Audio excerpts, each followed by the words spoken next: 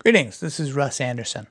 Today we're going to take a look at the integration of SynthEyes and Modo by taking this little shot, auto-tracking it, and now sending it to Modo. So I just solved the shot.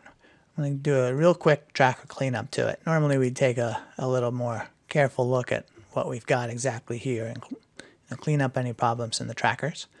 But that's a good good start there. And now let's set up a coordinate system using a couple of these trackers along these fences.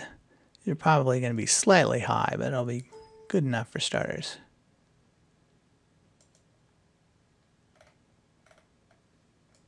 So you can see our, our points are all now aligned with the ground plane. So I'm going to go and create a pyramid in this area here.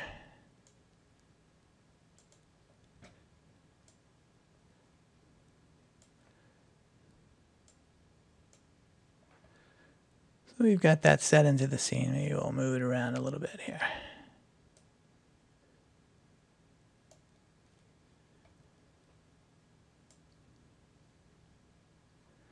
So now we're ready to export to Modo.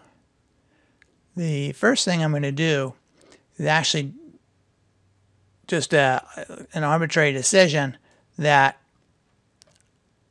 I can export all of these trackers to Modo, which you know it isn't generally necessary.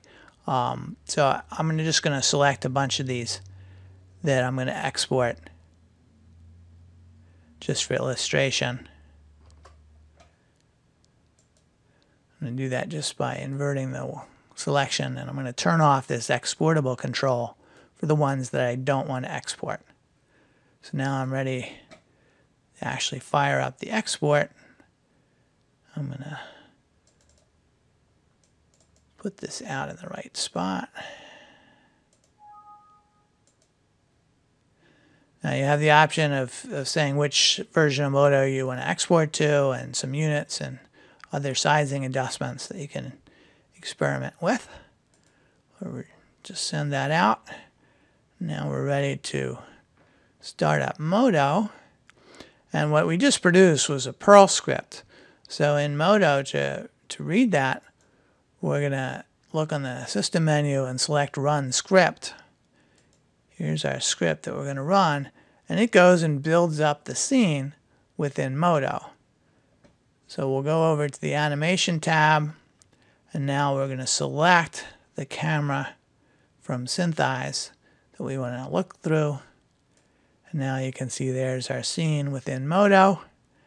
And at this point you could go and add whatever additional elements you want to add within Modo, animate things, etc.